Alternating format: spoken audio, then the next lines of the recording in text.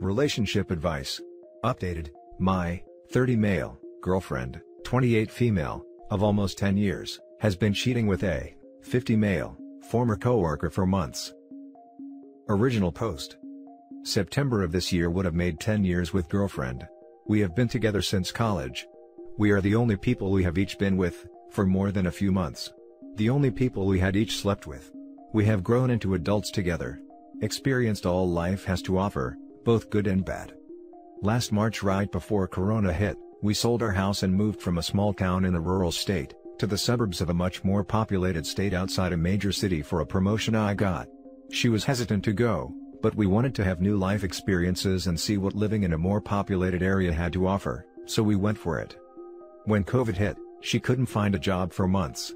She finally did but was not happy with it. Her mental health declined, as I was working six and seven days a week as a manager for an essential business during the pandemic. At the start of November, she said she had a mental breakdown at work and couldn't go back for a while. She then left for eight nights unannounced, and did not communicate much at all. Said she was staying with her one good work friend, but there were other people with them doing D's. They were working on getting another friend into rehab. I was shocked and worried, because this was not like her at all. She comes back for a week. Tries going back to work and can't even make it a full day. Quits. At this point she's apologizing saying she needs to focus on her mental health. She has to get through this on her own. Needs some time and space. Ends up getting her own place without telling me. Moves out most of her stuff. The whole time, I'm trying to support her, be there for her, give her space, whatever she needs. She keeps apologizing. I knew something was going on. A month later, one of her former coworkers, FB messages me a picture of her and this guy taking a selfie. Says she's sorry, but I needed to know. Says they have been seeing each other since September. The guy is married with kids, and his wife had cancer not long ago. Says he's also a recovering addict who relapsed at the start of the year. She finally calls and confesses the next day, after I messaged her about it. Says they're in love. Her, a 28 female is in love with a 50 male recovering, maybe, married substance addict. He treats her right and takes care of her in ways I don't. He is almost certainly manipulating her, I think this all stems from the passing of her father in 2018 from his own cancer battle. She has never grieved and processed any of that trauma. She also has childhood trauma from her mother being a substance user. Daddy issues, lots of trauma, depression, means she is an easy target for abuse and manipulation. We're obviously done for good, but I wanted to share my story because I feel that it is an unusual one, and I am feeling alone in a place without friends or family to talk to right now. Now for the top comments before the little update. It seems to me that when a partner starts talking about space to work on themselves, it means they're cheating. I knew it was either cheating or a substance problem. Most likely ended up being both unfortunately. This could be a blessing in disguise for you, although 10 years long-term relationship is difficult to forget about, but you have dodged a bullet there, don't try to beg her back into the relationship, and I would suggest getting your locks changed and go no contact. Sadly brother, your story isn't so rare. A lot of broken girls out there with daddy issues. Add the drinking and D's, and the fact you don't have kids. There's nothing there to save, and hopefully you'll realize soon that you're better off to pass that problem off. I've been trying for years to fix her, and get her to see someone to work through her trauma. Her mental health has been a slow decline since she lost her father a few years ago. Not that it was great before that. I can't do it anymore with her. Broken people attract other broken people.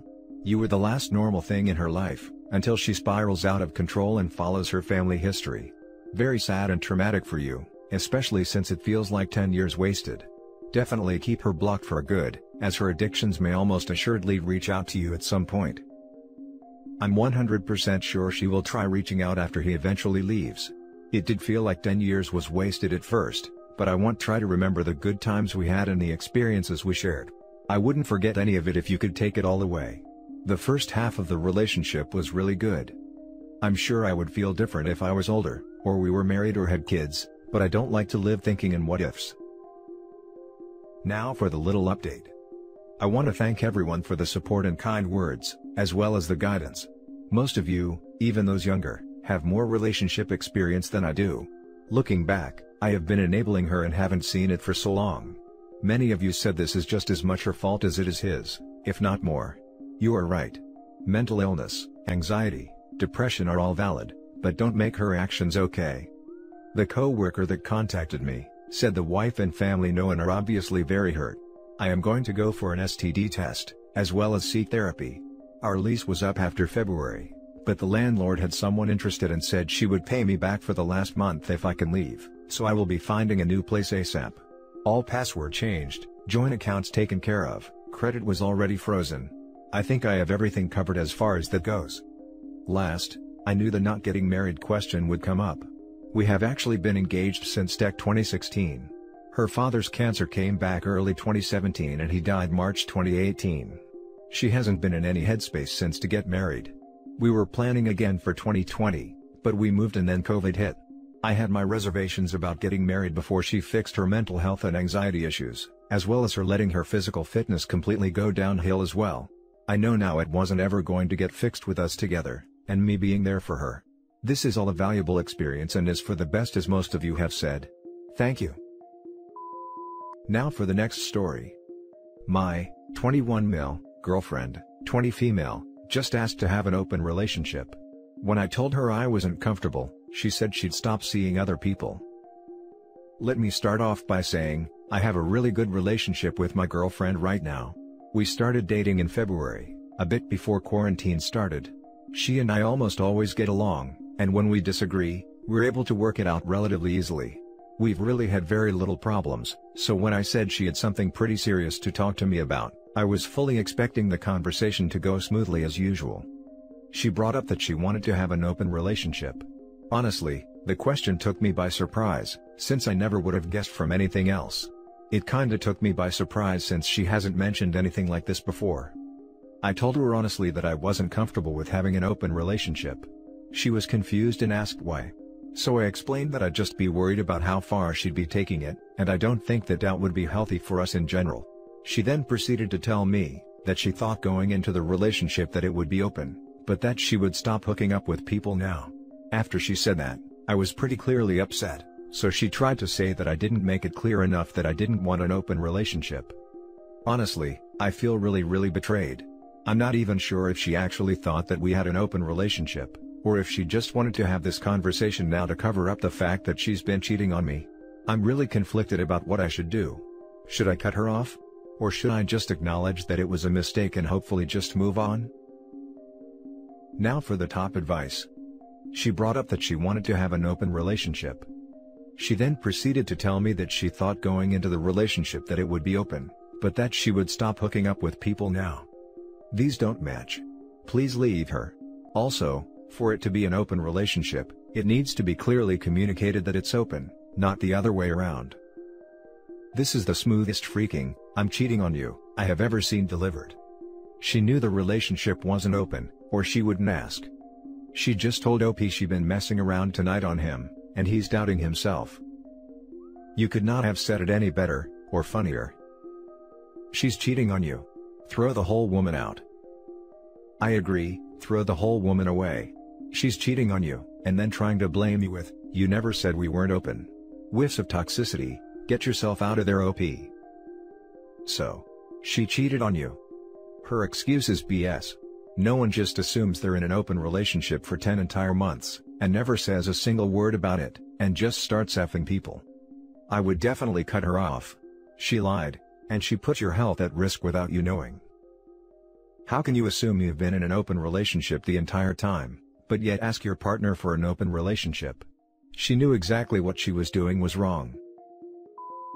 Now for the next story. Wife cheated, blamed me for digging, wants to stay together. Few years ago, my wife started taking about an open marriage. I told her I was uncomfortable with it. After that, she started to befriend more men. I always knew about them, but there was always a bit of secrecy to them as well. I started paying attention to her phone. The messages were very intimate without implying anything was going on and then they started to always be deleted. On the second one, she started lying about where she was, so I started watching her car mileage. I confronted her once when she said she'd be somewhere, and me and the kids went to surprise her and she wasn't there. Minutes before we showed up, she said she was there, turns out she went to lunch with a guy. Fast forward through two other male friends, someone we knew through our kids' activities, starts hitting her up. I saw some messages that concerned me. So I took another step, I logged into her account so I could see the messages in real time. That went on for a couple months, until a message implied that something had happened and may have crossed a line. Again, I confronted her, she claimed to know I was watching and was doing it to spin me up, said I was the one who was wrong for looking slash digging. We went through a bunch of conversations and moved on, but she still insisted on seeing this guy. I still felt something was off. Our intimacy was different, she was dressing different and doing more personal grooming. So, I didn't go back into her accounts but I bought a micro recorder, I captured a phone call that the talked about hooking up, and that it had been going on for a while. I again confronted her, and she said that she only kissed him, and again it was my fault because of the way I made her feel by watching her. She said that it will stop, but she is still going to spend time with this guy. Am I a fool to give her a chance and tolerating her spending time with this guy? Now for the top advice, or more like some much needed slap in the face. Yes, you'd be a fool. Time for a divorce. Seriously. I went through a similar situation and forgave her. Guess how that ended? Once a relationship gets to the point that you're so untrusting and so paranoid that you're watching your vehicle's car mileage, that's the point that you take a step back and realize that your relationship is doomed. And your wife's insistence that she was only interacting with other men because she knew you were digging, is complete horse dung. This relationship sounds like a dumpster fire. Not paranoia if there's actually something going on. I get your reservations. You have kids and, your life is revolving around your family. But the only reason you are even considering staying with her, is you are remembering how she was when you met, the reasons you fell in love with her. But that person is gone. That person has been replaced by an unlovable, selfish, disrespectful, gaslighting, monster. The monster killed your wife. Mourn the loss of your wife, and say goodbye to the monster. Get undeniable, and documented proof first. The monster will drag your name through the mud without it. Now for the last story. Girlfriend, 29 female, asks for a pause in our, 29 male, relationships because she never dated anyone but me. She feels like she is missing out and asks for permission to date her coworker while we are on a pause. We are together for 5 years and these are the first relationships for both of us. 2020 was a bit rough on us either, and even though we usually enjoyed spending all of our time together, it started to feel that we are getting tired from each other towards the end of the year. When she offered a pause in our relationships, I was ready for that and totally agreed that we need to spend some time living separately to get some rest from each other. She said that never really lived alone in her life and would like to spend some time having that experience. What I wasn't prepared for, she asks for permission to date her coworker while our relationships are on hold. She says that she is not interested in him as a person, it's a pure physical attraction. She loves me and wants to stay with me. But she never had experience dating other guys, feeling attractive to other men, flirting. Our relationship is so long that they stopped evolving, and when the coworker showed the interest in her, her self-esteem suddenly boosted. I am still trying my best to be romantic and attentive, but it seems like over the years, all of these flowers, surprises and love letters lost their meaning, and feel more like a routine now. And I would be okay with all that dating and flirting thing, but the possibility they may have intercourse is killing me. The problem is, I can't provide her the bedroom life she needs. I have, let's say, congenital issue with my genitals and usually relied on devices. So, I understand why she might want to try it with someone functional. Moreover, I am not attractive as a man. I am short, I have extra weight, I have social anxiety, I am average in every way, while she is beautiful in every way. I am eternally grateful she discussed that with me instead of cheating. But still, it kills me when I think about that. For now, I said that I can't forbid her anything and I don't want her regretting after 10 to 15 years that she never experienced anything but steady family life. Something similar happened with my mother when she was 40. Even less, I want her to cheat on me, if that physical attraction becomes too strong. I am prepared we may break up as a result, whatever I decide. But I love her, I was ready to spend all my life with her, and I don't want to lose her that easy, if there's any chance to restart our relationships. But I don't want to be a backup option either. It feels like a legalized cheating. I don't know if I can see or touch her again the same way, knowing that she was with another guy. I won't stop thinking that she constantly compares me with him, thinking was he better? Just picturing how that was happening. How are they going to see each other at work after that? Should I agree on the pause on her terms? Should I say, I'm okay with dating, but if you sleep with him, I may not want to unpause our relationship?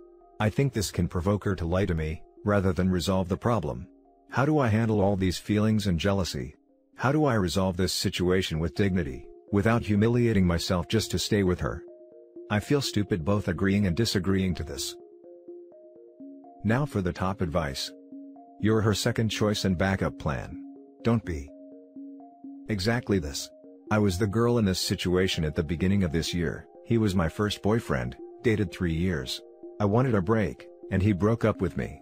I'm glad he did, I realized very quickly that I really just wanted him to be a safety net. Yes, I was this girl except I ended up realizing how much I actually liked him after I broke up with him. But I'm glad I have some time on my own to live and become comfortable with myself. And if we end up together again, I'd be extremely happy, but if not, then at least I'm living on my own terms and not staying in a relationship my whole life due to fear of the unknown or fear of loneliness. How about this, you break up with her, then tell her that she is single and can do whatever she wants, but that she cannot come back or contact you ever again. You have profound wisdom. Dude. Relationship don't have pause button. They have play when you begin and stop when and if you end it. No freaking resume, or fast forward or backward. So, if she wants to press a button, only one there is. As for your bedroom problems, she knew and accepted those, if you are not enough now, you will never be, realize that and start to move toward the exit. And that's it for this video guys, if you have thoughts to share, leave a comment below. Don't forget to hit like and subscribe if you like this content. I'll catch you in the next one. Good day everyone.